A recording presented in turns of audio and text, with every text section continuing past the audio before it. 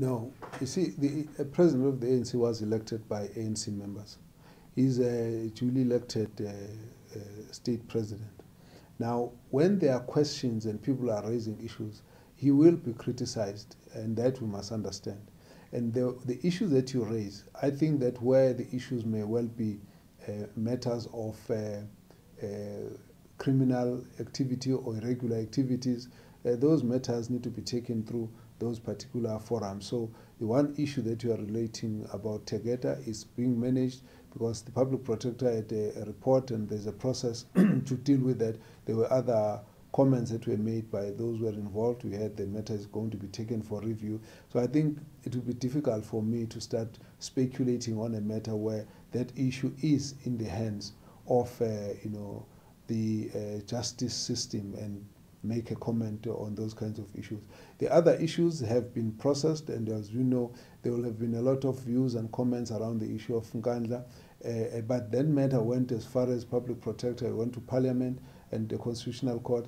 Again, I think they, we can have people having views about those matters, but in terms of our uh, systems uh, or institutions of democracy, those matters went through and were processed at that kind of level. So people will continue to have their views, but the matter was not just left, it was actually processed. So I think we must understand that there would be that uh, situation. At the end of the day, the uh, African National Congress would have to look at, uh, you know, issues that are raised in its own research, in its own, um, in its own uh, uh, internal processes, and then address them as, as they arise. So he's not a liability? No.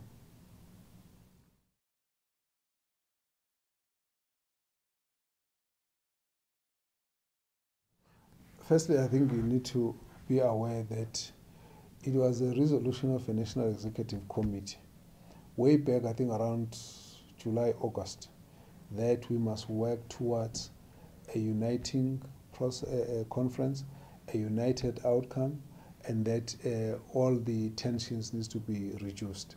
So that is an NEC decision. So if any other leader says so, they are saying so because it was a National Executive Committee decision. So that is a guide that we all have. We're going to be working towards unity. We're going to be working towards reducing uh, tensions. We're going to be working towards ensuring that whatever uh, contestation it happens in a way that strengthens the ANC and builds it and make it stronger, rather than a situation where there will be so much of uh, divisions. Now, if you look back at those divisions that we're talking about, there are certain um, um, precipitating steps that happened.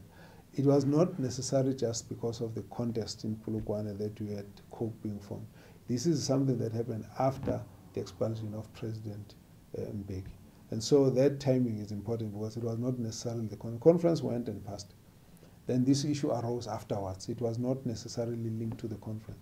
The issue of the EFF, um, again, the EFF, there was no contest all that happened was that there were some people who were expelled, and then out of that they formed their own party. So the incidences are not quite the same. And I think if we want to try and load this onto this coming conference, we need to be very clear that they are very separate issues.